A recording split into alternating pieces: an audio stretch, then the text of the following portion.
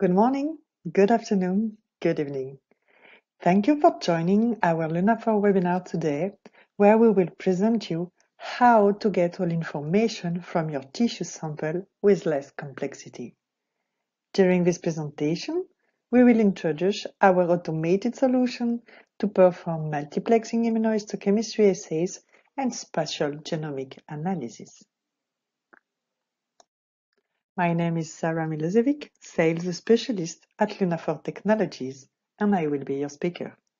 Today, the agenda of our presentation will be divided in three major parts. First, I will present you our microfluidic technology for tissue analysis.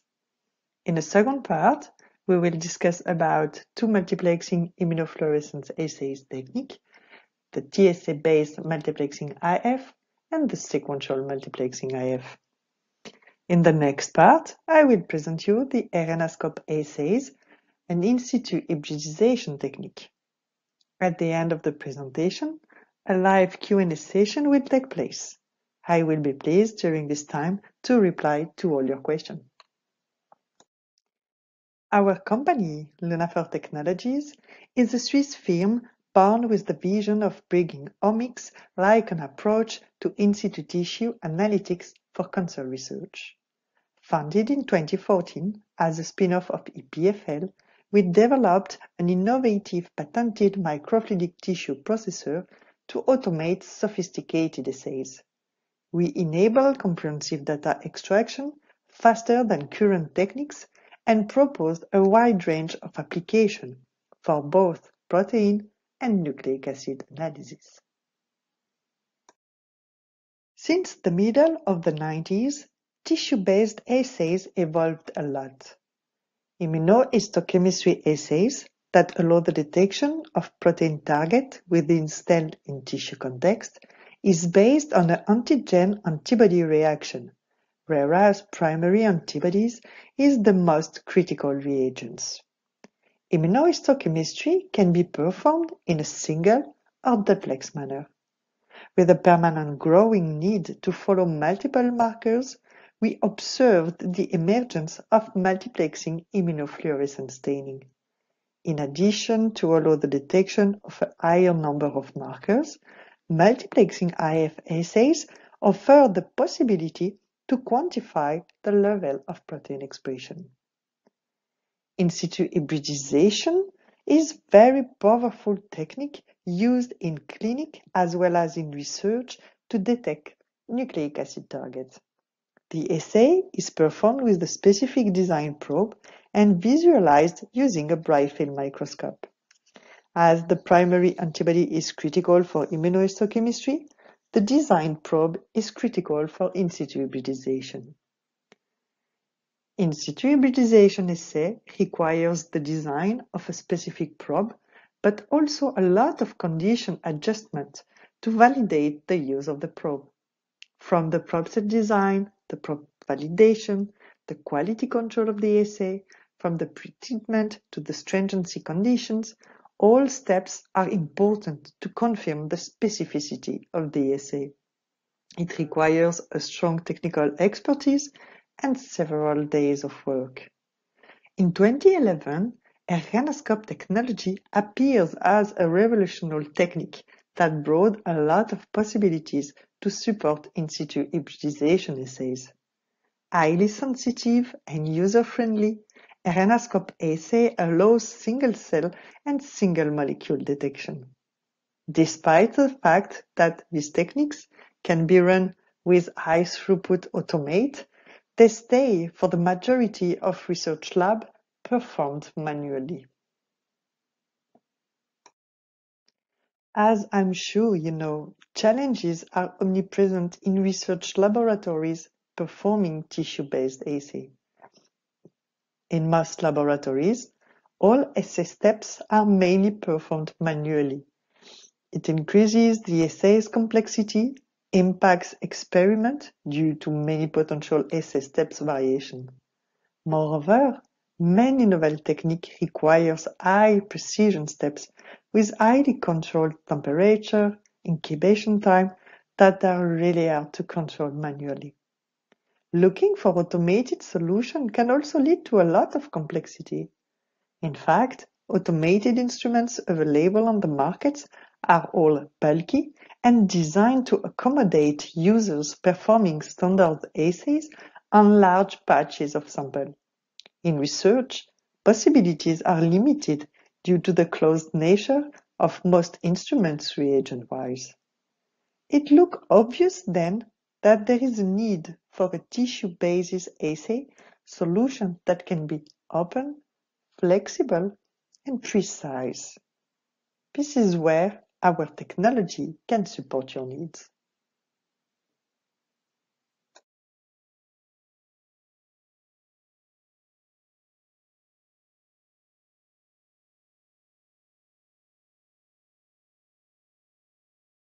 Let me now present you the core of our innovation. Our technology is based on a microfluidic chip called Microfluidic Tissue Processor, MTP, or just staining chip. The staining chip is composed of a set of microfluidic channels designed to deliver and wash reagents on the vicinity of the sample. The staining chip is simply clamped over a standard histological glass slide, forming a closed chamber of reaction over the tissue. Reagents are driven into the hermetic chamber and removed from it by a highly controlled pressure. Thanks to the pressure, the liquid exchange is very rapid, and this is why we called our technology Fast Fluidic Exchange, or FFX. The perfect sealing between the histological glass slide and the staining chip offer a highly controlled environment.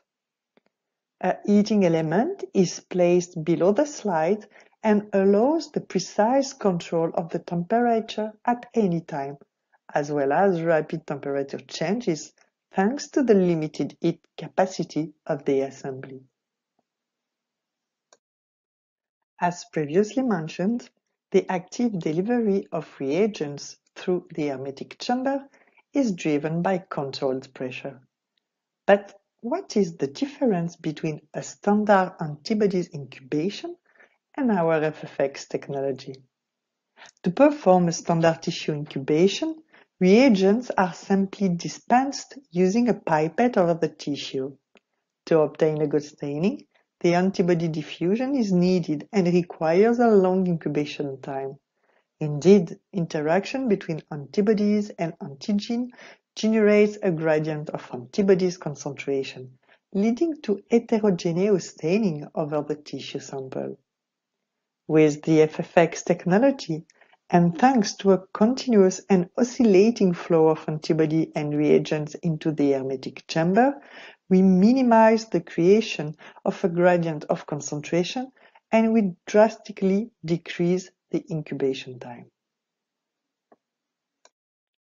In order to validate our technology, we worked on a large range of applications.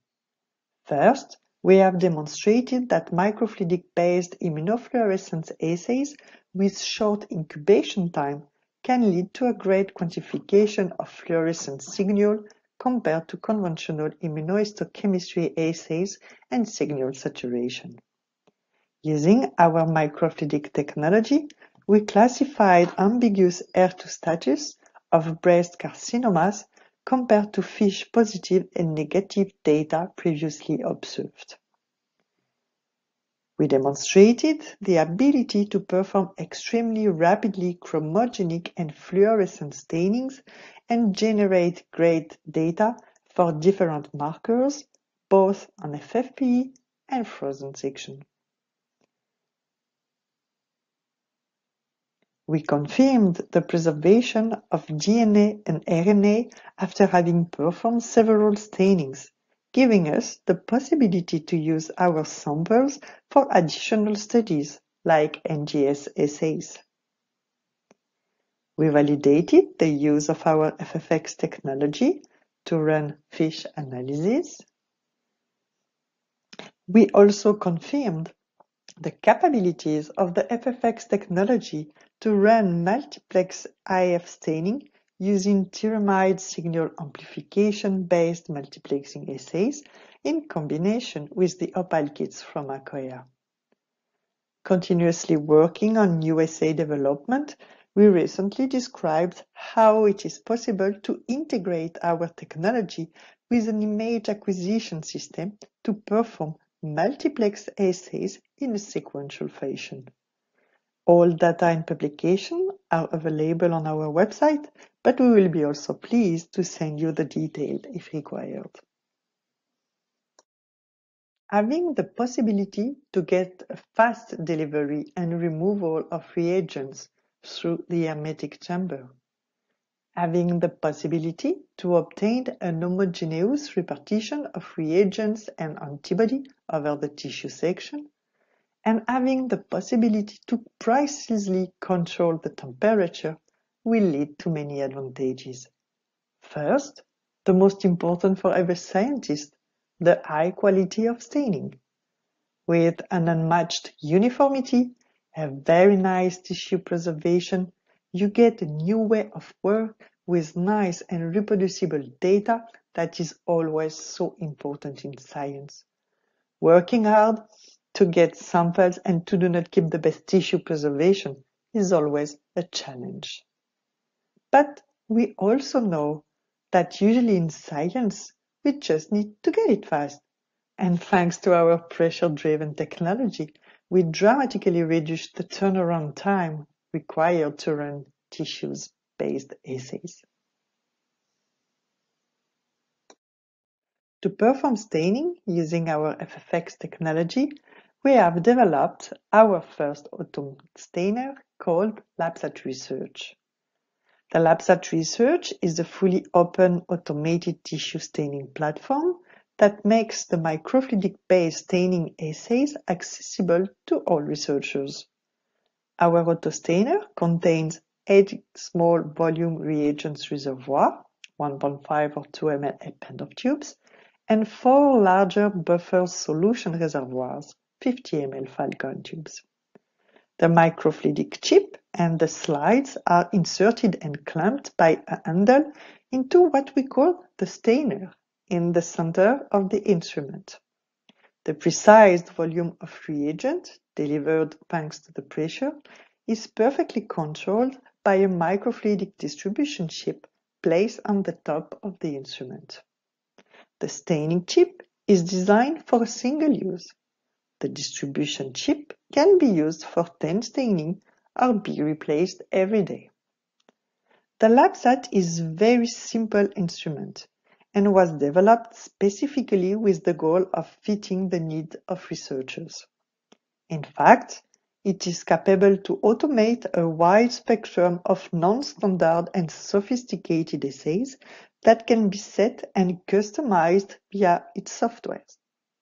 It's fully open and works with any off-the-shelf reagents. Having seen in detail our microfluidic solution and our autostainer for tissue analytics, we will now have an introduction on multiplexing IF assays. I will present you first technique to perform multiplexing IF staining, the tyramide assay signal amplification, followed by sequential immunofluorescence multiplexing assays. As I previously mentioned, the need in science and clinical evolve a lot. To develop more precise diagnostic tests, we need to track a higher number of markers in a spatial and morphological context. In the field of immuno-oncology, there is an increasing trend to understand the complexity of the tumor microenvironment thanks to the immunophenotyping. Multiplexing immunofluorescence allows for the detection of multiple antigens on the same tissue section. It provides colocalization and spatial orientation of proteins, which facilitates an accurate determination of the target's subcellular localization identification of multiple cell types, and resolution of the relative proximity of biomarkers. Multiplex immunofluorescence assays provide information on the expression levels of biomarkers while increasing the number of biomarkers that can be visualized simultaneously on a single slide. Thus, the advantage on multiplexing immunofluorescence assays can be expressed as better information about the tissue microenvironment while conserving the sample. Immunofluorescence assays can be performed by direct staining using primary antibody directly conjugated to a fluorescence molecule, or indirectly using a couple of primary and secondary antibody. In basic immunofluorescence stainings, indirect pathway is the most common as it helps to increase the signal, in particular when the targeted protein is not much expressed. In multiplexing immunofluorescence studies, the biggest limitation will come from the fluorescent microscope and fluorescent molecule wavelength. To bypass this limitation, the development of spectral microscopy opened a new way to perform immunofluorescence staining. Indeed, spectral microscopy allows the good detection of fluorescent molecules which exhibit another layer of their emission wavelengths. Based on fluorescent properties, TSA multiplexing immunofluorescence use a set of fluorescent molecules coupled to tyramide radical. Sequential immunofluorescence staining is based on indirect staining but required a repetition of staining imaging elution cycle. During my presentation, I will first focus on the TSA-based assay that can allow you to perform up to six marker staining plus counter staining. The use of Tyramide Signal Amplification System, TSA, in multiplexing immunofluorescence provide advantages over traditional method. The advantages include the ability to use antibodies from the same species to detect low abundance proteins. Tyramide signal amplification uses horseradish peroxidase conjugated secondary antibody and inactive tyramide fluorophores. The HRP enzyme will catalyze the conversion of the inactive tyramide into a reactive radical who will covalently bind to nearly tyrosine residues. TSA labeling procedure consists of the following steps. First, incubation of the primary antibody and secondary antibody conjugated to HRP addition of inactivated tyramide substrate conjugated to a fluorophore, the HRP conjugated to the secondary antibody catalyze the conversion of labeled tyramide into the reactive radical form that will covalently bind to nearby tyrosine residue, providing high-density labeling. The primary secondary antibody is then eluted by high temperature, and the second marker Detection is done using the same principle.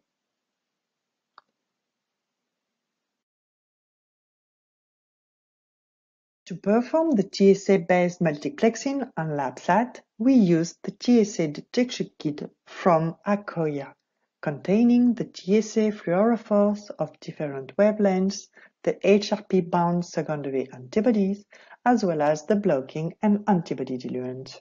We developed and performed the staining for six markers plus counter staining. The development and the optimization of the TSA multiplex IF staining is based on four points. First, the singleplex staining to validate every antibody selected. Second, the uniformity optimization. Third, the antibody elution to control its efficiency as well as the impact of the treatment on the tissue morphology. And last but not least, the multiplexing staining, where we combine all desired staining sequentially with an elution step between each staining. To validate the TSA multiplex staining using our LabSat autostainer, we selected the following six markers, FOXP3, PDL1, PD1, CD68, and CD8 to perform the staining on FFPE human tonsil tissue. We will now see in details every step of the staining optimization. Let's start with the singleplex optimization. For the singleplex optimization, three steps are tested. The antigen retrieval treatment, temperature and pressure setting, the reagent incubation, temperature, duration, and flow optimization, and finally, the primary antibodies concentration and substrate is the titration of the antibody and the OPAL reagent. For each marker tested, we validated the use of our selected antibodies.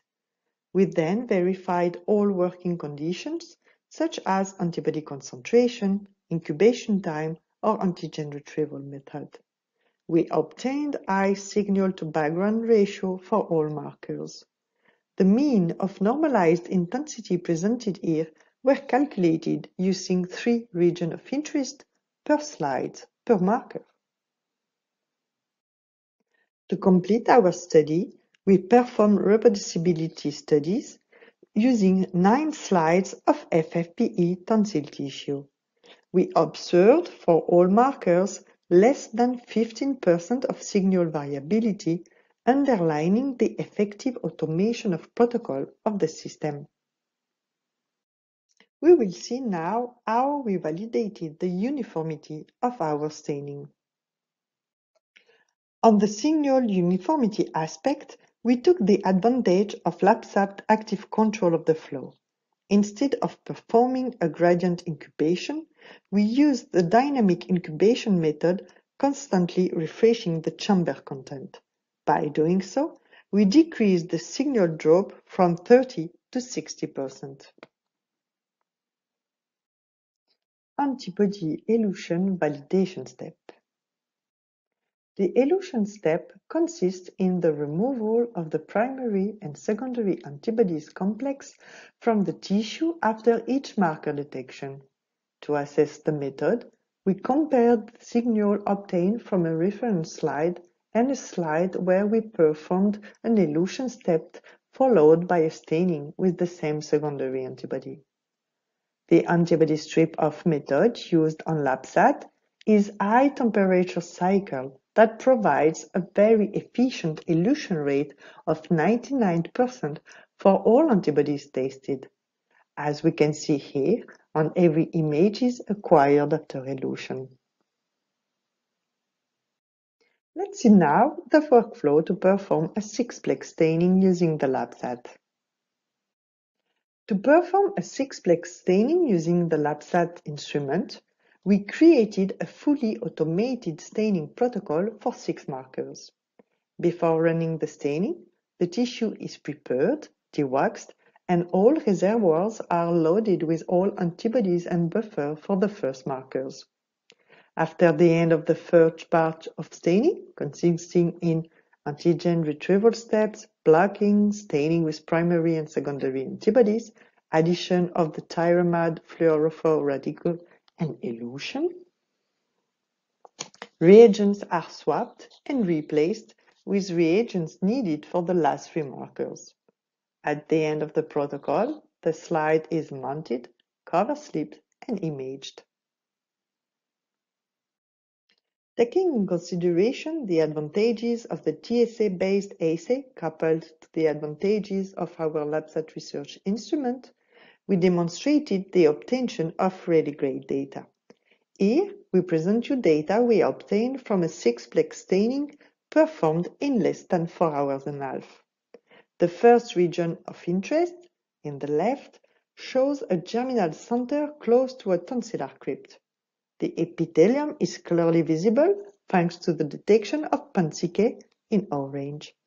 This region of interest also shows a strong epithelial PDL1 expression in green, and in the same time, a weaker and punctate PDL1 expression in the germinal center, macrophages, which demonstrates the ability of the assay to capture the typical dynamic range of the marker. The second region of interest focuses on a region separating germinal center. There is a dense population of cytotoxic T cells identified with the membranous expression of CD8 in magenta. Another T cells population is well represented here, regulatory T cell, visible thanks to the nuclear expression of FOXP3 in yellow. The region of interest 3 and 4 are centered on more mature germinal centers, the first one close to a tonsillar crypt, the second a bit further away. They both show abundant PD-1 expression in cyan on the membrane of centrocytes. Presence of CD68 positive cells in red, monocyte and macrophages is also clearly visible in those two regions of interest. To confirm our staining performance, we have validated our immuno-oncology panel in different tissue, consisting in PD-L1, CD8, FOXP3, CD68, CK, and PD-1.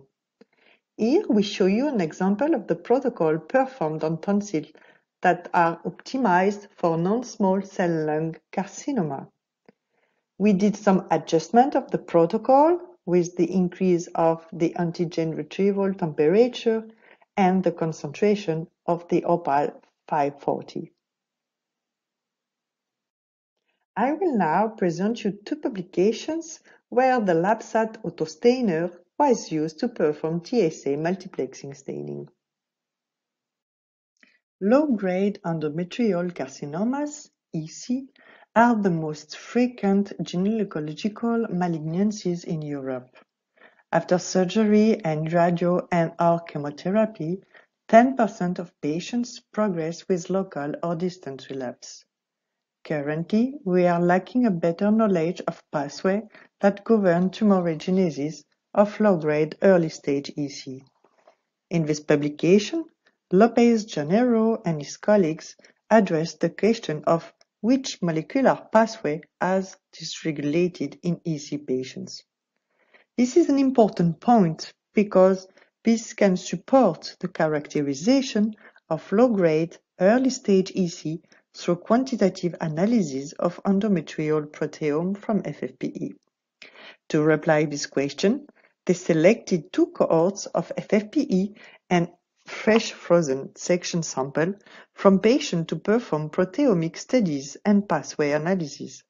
For proteomic studies, they performed a triplex TSA immunofluorescence staining for CD8 to follow cytotoxic T cells marker, CD8 as macrophage marker, and cytokeratin as epithelial marker. In the two representative IC microphotograph, they observed higher immunofiltrates, red and yellow, in tumoral tissue compared to healthy tissue. The EC microenvironment is characterized by the huge myeloid infiltration in tumor tissue 1 compared to tumor tissue 2. The difference observed for these markers can support the characterization of low-grade, early-stage EC through quantitative analysis of endometrial proteome from FFPE. The immune suppressive microenvironment affects efficacy of radioimmunotherapy in brain metastases. Thus, the success rate of standard therapies is limited in brain metastasis patients. In the publication, Nielsen and his collaborators wondering if it could be possible to combine application of radio and immunotherapy to modulate tumor immunity and overcome inhibitory effect. For this purpose, they decided to study the tumor development and detect the T cell presence or not. After the identification of T cells receptor, receptors repertoire and therapeutic targets, they performed preclinical study on survival and tumor progression with a combination of radioimmunotherapy. The spatial distribution analysis was performed on multiplexed staining obtained with LabSat. Here you can see representative allo spatial plot on the left panel and multiplexed immunofluorescence images on mouse brain metastases on the right. T cells were stained with CD4 and CD8A, macrophages with CD16 and IBA1. TMEM110 and EpCAM were used as marker for microglia and epithelial cells respectively. CD4 CD8 T cells were localized closer to macrophages in brain metastases.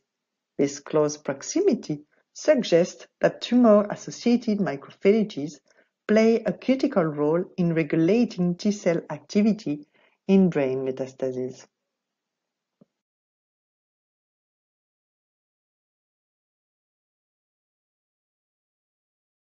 We will now see the sequential multiplex immunofluorescence for high-plex protein study. Current challenge in immunofluorescence for scientists is the need to develop immunofluorescence panel of 20-plex and above. Performing manually the type of assays can make the imaging acquisition intensive and time-consuming. Moreover, processing one sample each time requires too much time to obtain a result. Performing a sequential multiplex IF for a huge amount of markers can be done easily using an automated imaging acquisition system that will reduce the user intervention and the total protocol time, and a sample parallelization to reduce the assay development and the time to obtain results.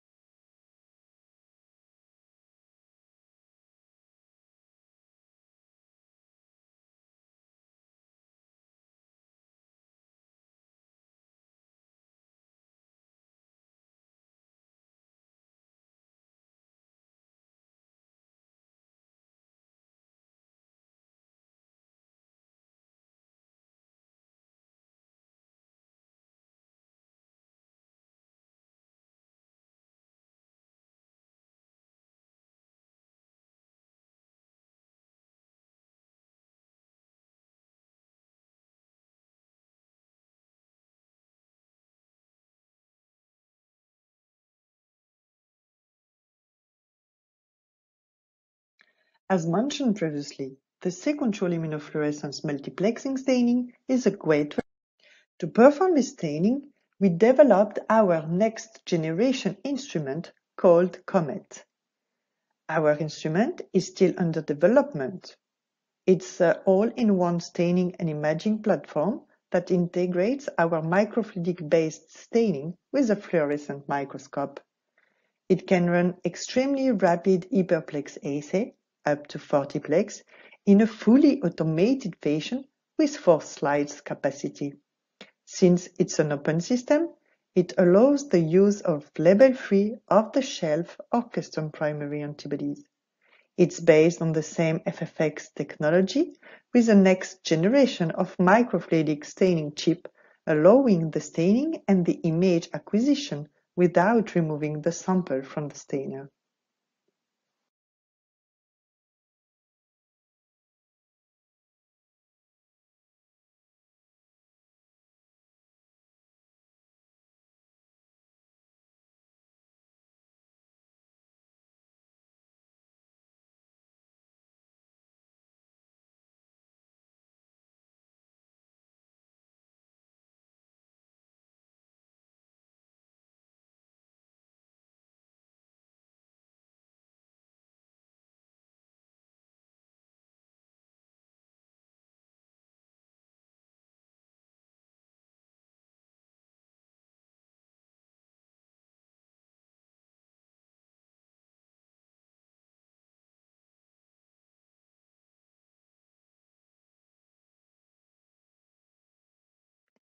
Performing multiplex sequential IF can lead to rapid immunostaining.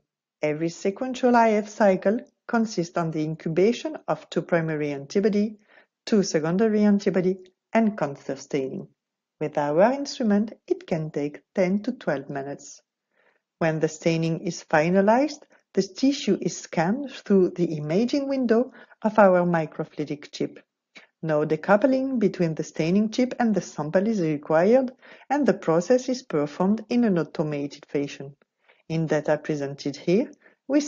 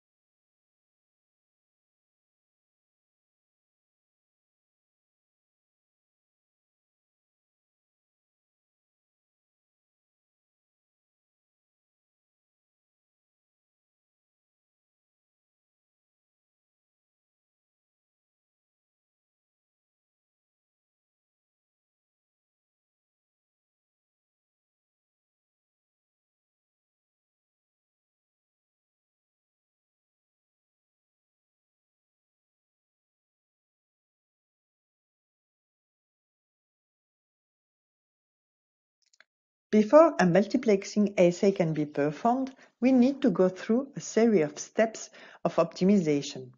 Our technology allows for playing with multiple parameters as temperature, incubation times, the use of a dynamic incubations to achieve more homogeneous stainings, perform multiple flushes, etc. To achieve a good multiplexing experiment, we make sure that we can remove the signal of every staining in order to avoid non-specific signal appearing downstream in the protocol. For this reason, every marker goes through an elution characterization step, where we make sure that at least 99% of the signal is removed. We compare the remaining fluorescence after elution to the autofluorescence of the tissue obtained prior to starting the optimization procedure. A similar background level indicates an efficient elution of secondary antibody from the tissue. Subsequently, we perform a control staining using only the secondary antibody and compare the fluorescence signal with our reference negative control. The scope of this step is to highlight any remaining primary antibodies after the elution. Once every marker in our panel has been characterized, we are ready to create a multiplexed protocol. In the example you can see here, 24 immune markers were stained on FFPE human tonsil. The scanning area was set to 4 by 4 mm squares and the total time of the experiment was 5 hours.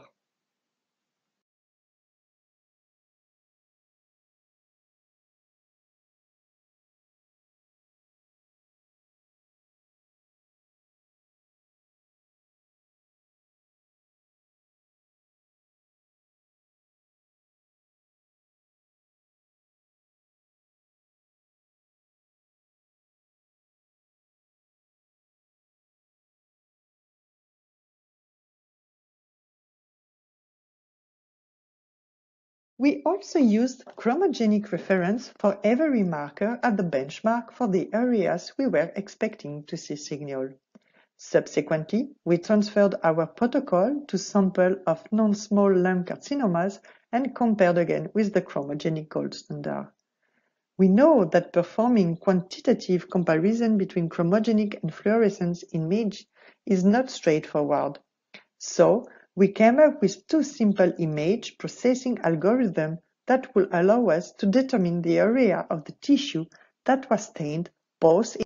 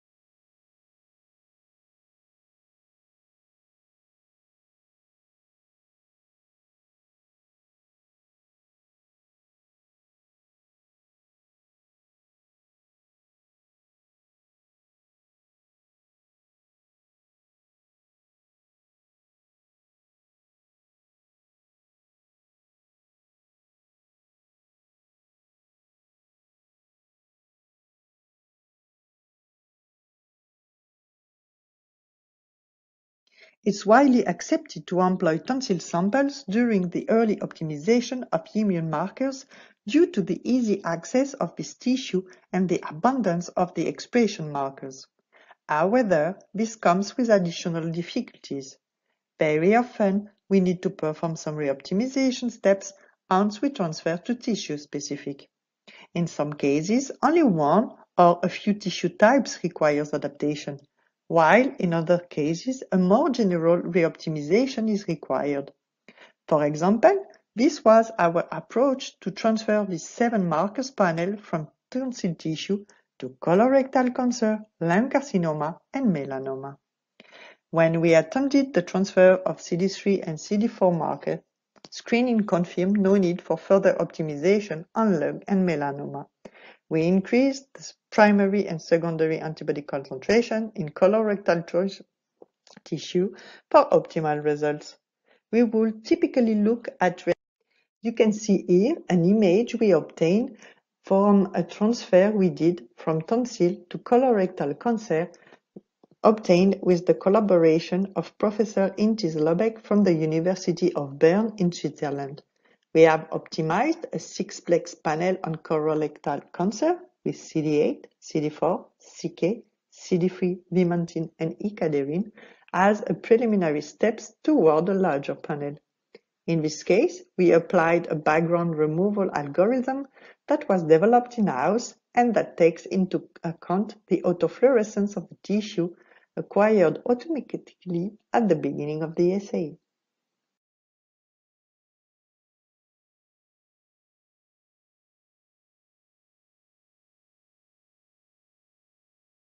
Images generated with the COMET instrument are exported in OME-TIFF format, making it possible to import for most tissue analytic tools.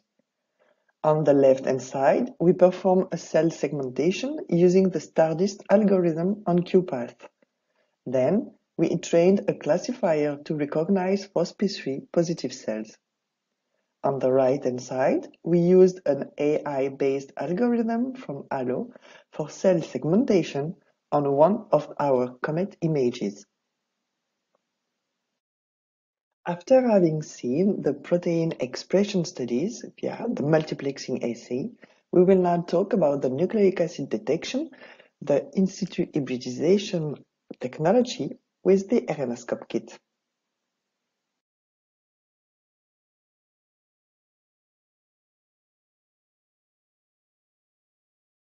The RNAscope assay is built on double-Z probe design that allow for single RNA detection at single-cell level with morphological context. It's virtually applicable for any RNA target in any tissue using universal assay conditions. With RNAscope technology, the signal amplification is really high and the background is suppressed.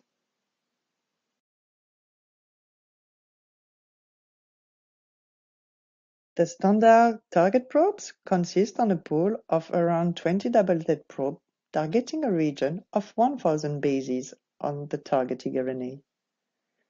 Each Z-target probe pair are designed to specifically hybridize the target molecule, but not the non-targeted one. Each target Z probe contains three elements. The lower region of the Z is the 18 to 25 base region that is complementary to the target RNA. This sequence is selected for target-specific hybridization and uniform hybridization properties. A spacer sequence then links the two components of the probe. The upper region of the Z is a 14-base tail sequence.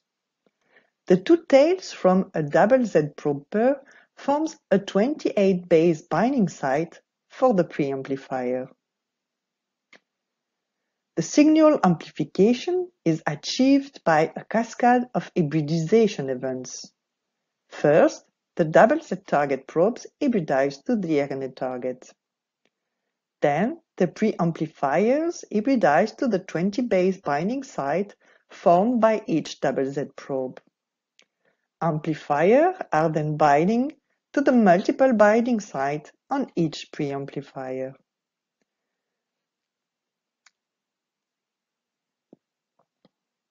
The advantages of the RNAscope probe design is first the sensitivity.